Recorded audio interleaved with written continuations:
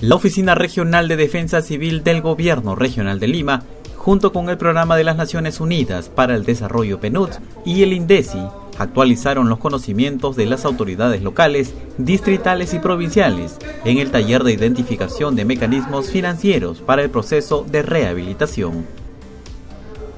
Un mecanismo que permite a los representantes de los municipios elaborar correctamente los expedientes técnicos y acceder al fondo para la intervención ante la ocurrencia de desastres naturales. Principalmente el trabajo de PNUD que viene realizando acá con el Gobierno Regional de Lima Provincias este, va el trabajo sobre el tema de la reconstrucción.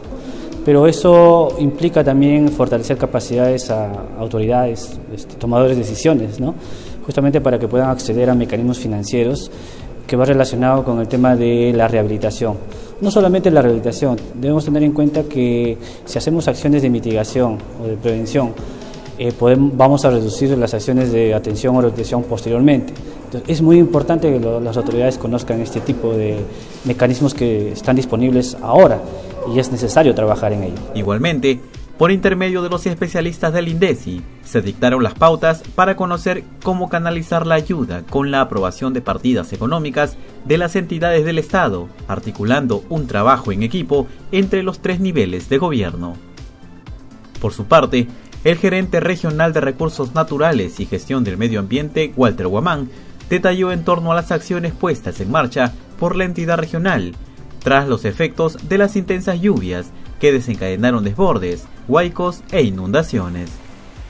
Por el parte del gobierno regional sí este, hay un trabajo bastante interesante que ha hecho el ingeniero Nelson Chuy, un poco con bastante eh, y en coordinación con los alcaldes para poder priorizar algunos sectores, ¿no?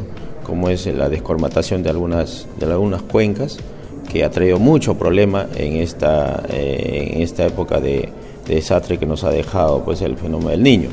Eh, también este, por parte del gobierno regional hemos tenido eh, digamos, el apoyo a los alcaldes que hemos presentado los proyectos para eh, mejoramiento de nuestros canales. ¿no? Y esos canales también han sido afectados por lo huaicos, por toda esa cuestión del, fenómeno del niño. ¿no? Y gracias con el apoyo del gobierno regional estamos ya levantando eso. ¿no? Es así que en primer lugar se elaboró un plan integral para la reconstrucción y además de las opciones que ahora tienen las comunas para obtener recursos económicos adicionales en torno a los daños dejados por la adversidad.